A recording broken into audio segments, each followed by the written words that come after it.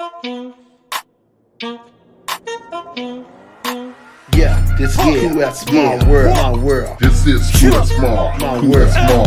Yeah, this my world, that's my world. Yeah, This is Cool Small. Small.